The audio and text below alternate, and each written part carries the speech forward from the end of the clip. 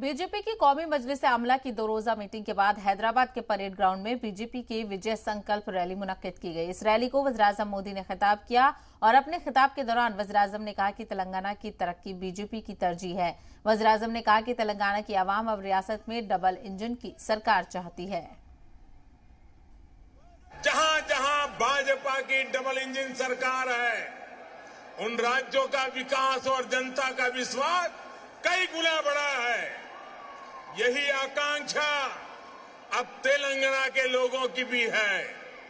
तेलंगाना के लोग लगातार भाजपा की डबल इंजन सरकार के लिए जनता जनार्दन खुद ही रास्ता बना रही है। साथियों, यहाँ बड़ी संख्या में हमारी माताएँ बहनें आशीर्वाद देने के लिए आई है। साथियों, हमारी सरकार ने महिलाओं, बहनों, बेटियों की गरिमा, उनके स्वास्थ्य, उनका जीवन आसान बनाने को सर्वोच्च प्राथमिकता दी है। आपका ये प्यार आपका ये उत्साह आज पूरे देश को पता चल रहा है। 2019 के लोकसभा चुनाव में भाजपा ने जितना जन समर्थन तेलंगाना में हासिल किया था, उसमें निरंतर वृद्धि हो रही है। 2019 के लोकसभा चुनाव में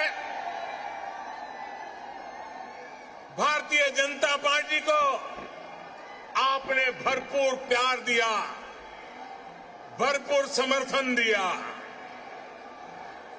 मेरे प्यारे भाइयों, बहनों,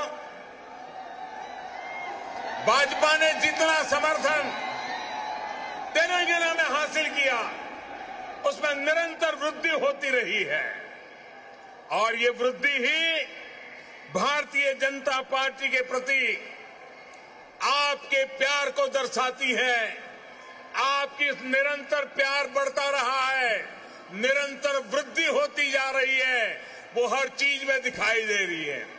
ग्रेटर हैदराबाद के चुनाव में इसकी एक और झलक हमने देखी। जब भाजपा को अभूतपूर्व सफलता मिली